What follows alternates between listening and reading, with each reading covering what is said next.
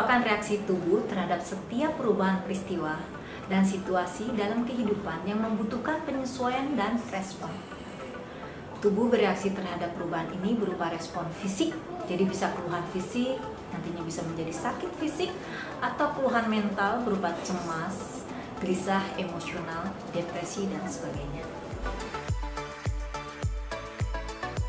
Stres itu bisa karena faktor internal dan eksternal.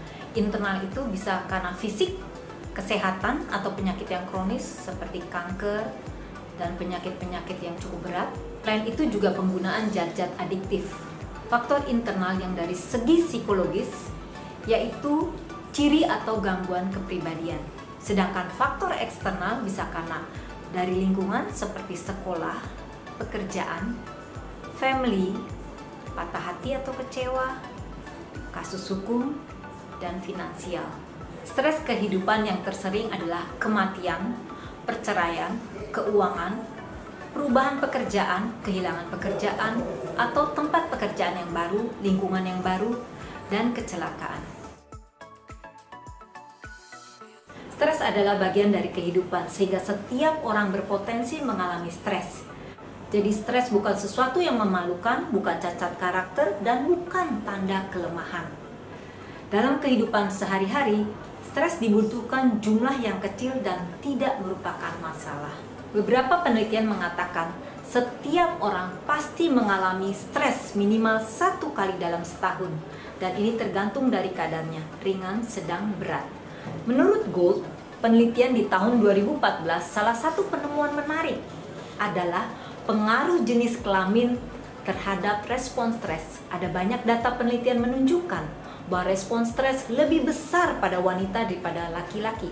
Hal ini disebabkan perubahan hormonal pada wanita diduga mempengaruhi respon stres. Tinggi rendahnya stres dipengaruhi oleh persepsi individu terhadap penyebab stres, sering tidaknya berhadapan dengan stresor, lamanya berhadapan dengan stresor, pengalaman individu terhadap stresor tersebut, tingkat perkembangan psikologis individu yang mengalami stres. Tidak ada perbedaan gangguan stres pada kepribadian ekstrovert dan introvert. Namun jenis gangguannya berbeda. Pada kepribadian introvert cenderung lebih rentan mengalami gangguan depresi dan cemas dibandingkan kepribadian ekstrovert. Karena orang kepribadian introvert sering menyendiri dan tidak mempunyai banyak teman.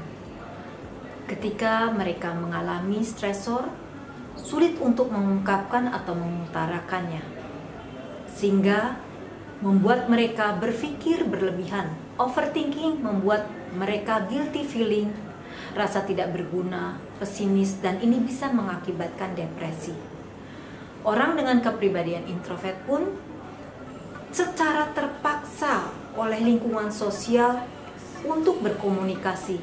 Ini dapat membuatnya menjadi cemas. Seperti kita ketahui, stres adalah bagian kehidupan sehingga tubuh kita dirancang untuk bisa beradaptasi dan mengatasi stres itu sendiri. Tidak semua stres itu buruk. Stres itu ada dua, stres positif dan negatif. Stres positif kita sebut eustress. Ini bisa membuat kita mempunyai motivasi sehingga meningkatkan kemampuan kita. Sedangkan distress atau stres yang negatif ini dapat mempengaruhi kinerja kita. Kita menjadi gangguan fisik atau gangguan mental sehingga mengganggu fungsi sosial dan pekerjaan. Stres yang berlanjut tanpa bantuan ahli dapat menyebabkan kondisi yang disebut distres. Ini merupakan stres negatif.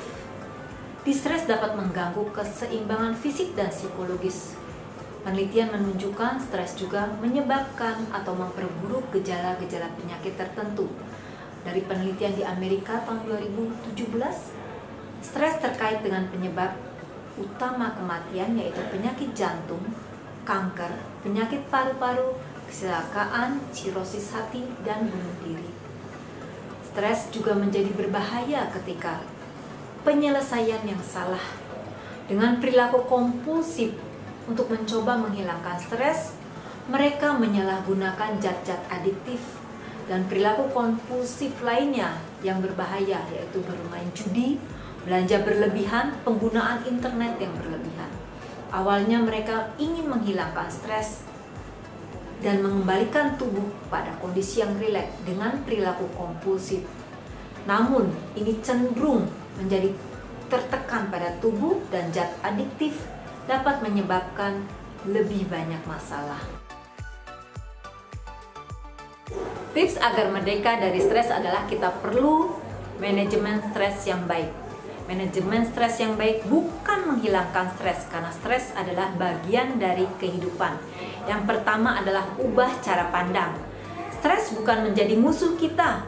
Kita harus jadi teman kita, yaitu yang kita pilih adalah stres positif. Stres positif dengan kadar yang sedikit bisa membuat kita motivasi sehingga kita bisa bekerja lebih baik lagi. Kedua, kenali diri lebih baik dan lakukan persiapan dengan matang. Menurut Gary, ketika kita masih mempunyai energi yang cukup banyak, sehingga jika skenario terburuk itu terjadi, kita sudah bisa melakukannya lebih baik lagi. Yang ketiga, manfaatkan lingkungan sosial dengan baik. Ketika kita stres, tubuh akan merespon dengan mengeluarkan hormon kortisol tapi ada hormon oksitosin yaitu di mana tubuh kita membutuhkan orang untuk berkomunikasi. Sehingga kalau kita memanfaatkan lingkungan, kita dapat mengatakan, mengeluarkan apa yang menjadi beban kita. Respon stres akan berkurang dan kita menjadi lebih baik lagi. Jika stres terlalu berat, jangan ragu-ragu, minta bantuan pada psikiater atau ahli kesehatan mental.